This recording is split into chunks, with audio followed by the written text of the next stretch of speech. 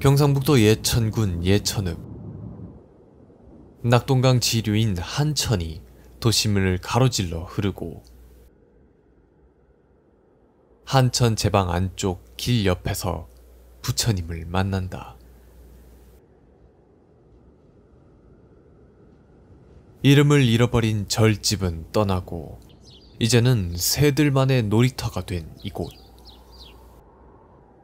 돌로 만든 부처님은 겨우 마을 이름을 빌려 동본리 석조열의 입상이라 불린다.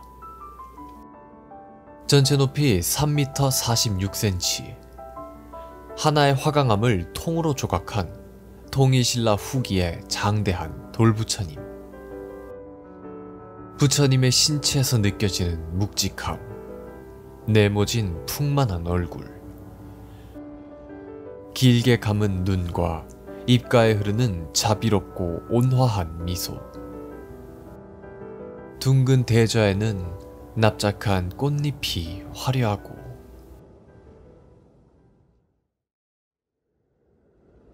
동본리 부처님의 앞쪽에는 높이 4m의 3층 석탑이 햇볕을 마주하고 서 있다.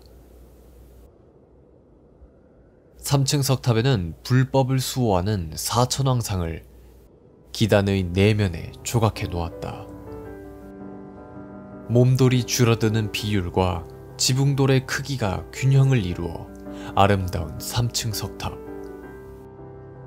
통일신라 후대에 만들어진 3층 석탑 앞에는 사람들의 기도의 자국이 남아있다. 예천군의 도심에서 공사 중인 국보급 유물인 개심사지 5층 석탑을 만난다. 올해 4월이면 새로이 단장된 5층 석탑을 볼 수 있다 한다.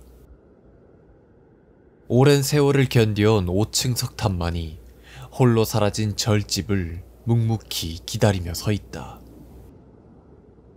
개심사지 5층 석탑은 특이하게도 탑의 조성 시기와 경위를 알 수 있는 명문이 탑에 새겨져 있다.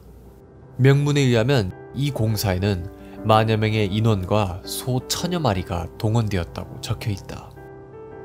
개심사지 5층 석탑에는 12지 신상과 8부 신중상, 인왕상 등 세 종류의 수호 신장상들을 모두 표현하고 있는 보기 드문 귀한 탑이다.